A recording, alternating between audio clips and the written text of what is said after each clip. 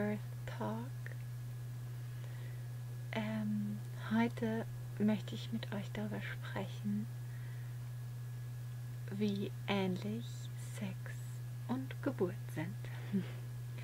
Und zwar ähm, möchte ich das jetzt gar nicht von einer physiologischen Seite aus betrachten. Da gibt es genug Literatur drüber, könnt ihr euch selber zu einlesen. Ähm, Fakt ist, es sind die gleichen Geschlechtsteile, die beteiligt sind. Unsere Vagina als Frau, sie wird geweitet, sie wird stimuliert, sie muss sich öffnen, es geht um Hingabe. Ähm, Fakt ist, dass es exakt die gleichen Hormone sind, die beteiligt sind beim Sex wie bei der Geburt. Ähm, bloß viel, viel höher dosiert, körpereigene Hormone. Und Fakt ist, dass, und da kann, glaube ich, keiner was anderes behaupten, ähm, Sex gut sein kann und scheiße sein kann. Und genauso kann es bei der Geburt sein, dass sie gut und dass sie scheiße ist. Und da will ich gerne genauer hinschauen, denn was macht den Unterschied aus? Also, wir gehen jetzt einfach davon aus, dass Sex und Geburt ähnlich sind. Okay, lasst uns den Sex anschauen. Ganz klar, wie komme ich zu einem Orgasmus? Wie komme ich zu schönem Sex, auch ohne Orgasmus? Für uns als Frauen wäre, glaube ich, die erste Antwort ganz klar Liebe und Vertrauen. Ähm, klar, es geht auch anders. Es gibt auch coolen, technisch guten Sex, keine Frage. Ähm, aber das, was uns wirklich unser Herz erfüllt, und da werden mir, denke ich, auch die Männer recht geben, dass guter Sex mit Liebe funktioniert. Und sonst eher schwierig. Übertragen wir jetzt das Gleiche auf unsere Geburt, auf die Geburt unseres Kindes, unsere eigene wahrscheinlich auch, ähm, es ist doch total logisch, dass Liebe,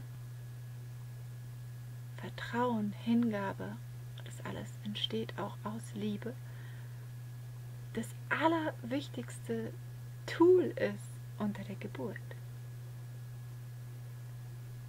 Und jetzt natürlich die Frage, wie kann ich diese Liebe in dem Moment spüren? Und gehen wir wieder auf den Sex. Welche Umgebung zum Beispiel brauche ich, um mich hinzugeben, um mein Herz zu öffnen? Weil was passiert denn, wenn ich wirklich, wirklich stark liebe? Es ist erstmal ein Moment des sich Öffnens, des sich Hingebens, des sich unglaublich verletzlich machens. Ja? Also ich öffne mein Herz ganz weit und habe das Gefühl, wow, ja, jetzt kann jeder reinhauen, so ungefähr. Oder vor allem die Person, die, der ich mein Herz schenke, wie man das sagt, ja, der ich mein Herz öffne in dem Moment. Es muss eine Person sein, der ich vertraue, bei der ich weiß, ich kann es machen mit gutem Gefühl. Das ist ein ganz großer Faktor für Liebe. Und wenn wir dann nochmal eine Etage tiefer gucken, es ist nicht nur die Umgebung, auf die wir ganz, ganz, ganz viel zu sprechen kommen können und was mega wichtig ist, ja. Also mit wem habe ich das Erlebnis? Wo habe ich das Erlebnis? Ja, also plötzlich werden diese Fragen ganz anders wichtig und vielleicht für dich auch anders beantwortet, wenn du sagst, okay, ich traue mich, das mal zu denken und zu fühlen, dass Geburt ähnlich sein kann wie Sex. Und ähm, genau, was brauche ich also, um diese tiefe, tiefe Liebe spüren zu können? Denn, man sagt mal so eben, ich liebe jetzt noch mehr und gerade in der Schwangerschaft, wo die Hormone andauernd mit uns durchgehen, äh, vielleicht der Sex am Ende doch nicht mehr klappt oder auch schon, keine Ahnung es ist oft sogar eher schwieriger für viele Paare, für gleichzeitig auch mega viel intensiver, aber auch herausfordernd zu lieben, den Partner. Und ja, was brauche ich also, um mehr lieben zu können? Mein Herz, die Erweiterung meines Herzens, die Öffnung meines Herzens. Und worauf, und, und diese, diese Liebesfähigkeit, ja, die möchte ich erweitern. Und für mich die Antwort darauf, ähm, und für viele andere Menschen, die sich mit diesem Thema Liebe schon auseinandergesetzt haben, sei es aus der Psychologie, sei es aus der Spiritualität, pff, ja, egal. Ähm, die Liebe, die Liebesfähigkeit ist ganz stark definiert dadurch, wie sehr ich mich selbst lieben kann. Womit wir bei der Selbstliebe wären. Irgendwie komme ich am Ende immer auf die Selbstliebe, merke ich in letzter Zeit. Also über die Selbstliebe kann ich mein Herz trainieren wie einen Muskel, um die Fähigkeit zu lieben zu erweitern. Ja? Und über Selbstliebe findet ihr unglaublich viel überall im Internet und überall. Es gibt Kurse, es gibt Bücher, es gibt alles, ja.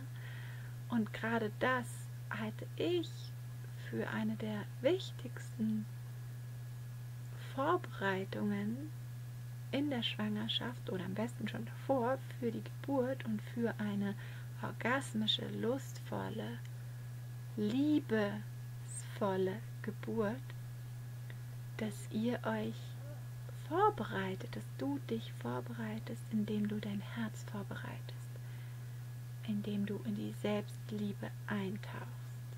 Und dazu lade ich dich ein. Vielleicht werde ich noch mehr Videos dazu drehen, wie das dann genau funktioniert, die Selbstliebe, total gerne. Ähm, aber ja, Love is the key. Weil wenn wir es schaffen, wirklich, wirklich tief diese Liebe zu spüren in uns selber, uns selbst in die Augen schauen zu können, zu sagen, ich liebe dich, ich liebe dich wirklich. Ich habe dich schon immer geliebt. Ich werde dich immer lieben. Wow! Wenn du schaffst, dir das, so wie ich gerade, selbst im Spiegel in die Augen zu sagen und es dir so zu sagen, dass du es dir selber abkaufst, dann bist du schon ein Riesenstück weiter in der Selbstliebe. Das Ganze ist nicht von mir erfunden, das nennt sich Mirror Work. Ähm, zum ersten Mal gelesen habe ich dabei, habe ich davon von Louise Hay. Keine Ahnung, ob sie das begründet hat oder inzwischen sprechen da ganz viele davon. Ein unglaublich mächtiges Tool. Probier es aus. So mal als kleine, als kleines Schmankerl. okay, das war der Birth Talk für diesmal zum Thema Liebe Sexualität, Geburt.